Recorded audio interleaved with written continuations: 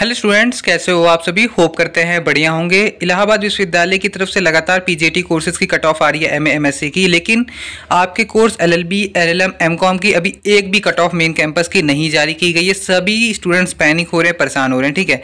तो मैं आपको बता देता हूँ कि जो भी स्टूडेंट्स अभी L L B M M की कट ऑफ़ के लिए परेशान हो रहे हैं, देखिए चांसेस ये भी हैं कि कल कट ऑफ़ आ सकती है, क्योंकि एक वीक हो चुका है।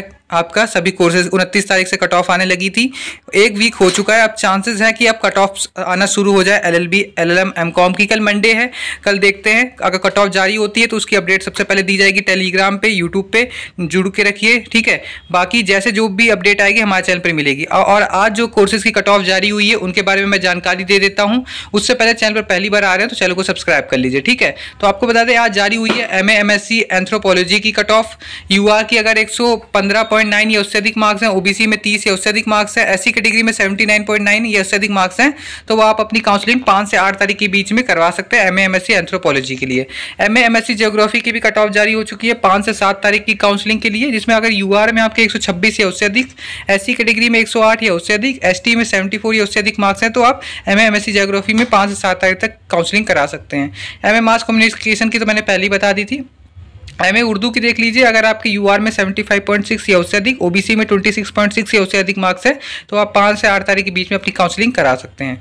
वहीं MA textile and apparel designing cut off आ गई पाँच से सात तारीख की काउंसलिंग के लिए। अगर यूआर में वन या उससे अधिक और ओबीसी में नाइन्टी या उससे अधिक मार्क्स हैं तो आप अपनी काउंसलिंग करा सकते हैं पाँच से सात तारीख के बीच में। एम की भी आ गई है कट ऑफ़ पाँच से छः तारीख की काउंसलिंग के लिए।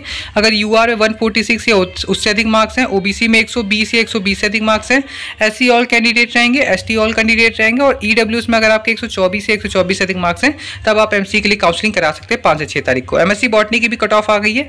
एमएससी बॉटनी की काउंसलिंग पाँच से सात तारीख तक होगी। अगर आपके यूआर में एक सौ या उससे अधिक ओबीसी में एक या उससे अधिक एस में एक या उससे अधिक एस कैटेगरी से फिफ्टी या उससे अधिक, और ई कैटेगरी से है तो वन या उससे अधिक मार्क्स है तो आप एमएससी बॉटनी के लिए पाँच से सात तारीख तक काउंसलिंग करा सकते हैं। एमएससी केमिस्ट्री की भी कट ऑफ़ जारी हो चुकी है। पाँच से आठ तारीख तक काउंसलिंग होगी। अगर यूआर में एक या उससे अधिक ओबीसी कैटेगरी में एक या उससे अधिक एस कैटेगरी में 74 या उससे अधिक, और एसटी कैटेगरी में 61.2 या उससे अधिक, और ई e कैटेगरी में 138 पॉइंट थर्टी एट या इससे अधिक मार्क्स हैं ई कैटेगरी में तो आप एमएससी केमिस्ट्री के लिए अपनी काउंसलिंग करा सकते हैं पाँच से आठ तारीख तक के बीच में, ठीक है?